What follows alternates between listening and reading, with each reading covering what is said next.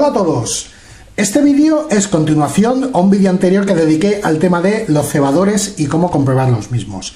Este vídeo en concreto es un vídeo de agradecimiento a un compañero de, trabajo, Fermín, que es quien me ha dado la idea eh, para la realización de este vídeo.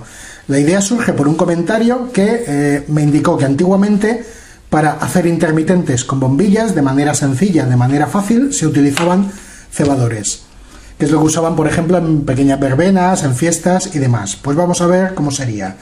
Sencillamente tenemos que a un cable con toma de enchufe y con bombilla intercalar un cebador en medio. Vamos a ver cómo tendríamos que ponerlo para ver qué efecto conseguiríamos.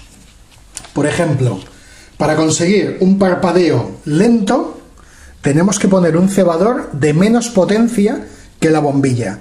Si la bombilla es de 42, por ejemplo, pues en este caso ponemos un cebador de 22. Vamos a tener apenas un parpadeo de la bombilla, tal como veis.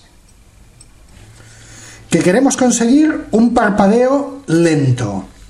Pues lo que tenemos que usar son cebadores que ya estén gastados, que ya estén a, eh, a medias de su vida útil o que prácticamente estén a punto de averiarse. Con estos, tal como veis, conseguimos una intermitencia lenta. Y en el caso de que queramos, bueno, no lo he dicho, el cebador es de la misma potencia que la bombilla.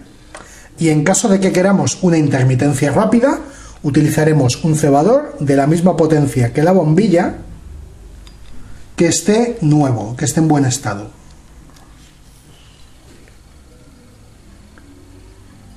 Y con esto, como veis, tenemos una intermitencia rápida. Ya, por ejemplo, si quisiéramos hacer combinaciones de intermitencia lenta e intermitencia rápida, pues en lugar de andar cambiando los cebadores, por ejemplo, haciendo un pequeño circuito con interruptores, o con pulsadores podríamos conseguir alimentar un cebador o alimentar el otro, pero bueno, ya son ideas para eh, posibles o futuros montajes. Pues nada, que veáis que con un cebador, el típico de tubo fluorescente, podemos hacer la intermitencia de una bombilla y para montar una pequeña fiesta en casa que necesitemos luces intermitentes, pues nada, ya sabéis que de forma fácil lo podemos conseguir. Pues nada, lo dicho, un saludo Fermín, muchas gracias por el consejo y para todos que sigáis visitando los vídeos, para tú mismo.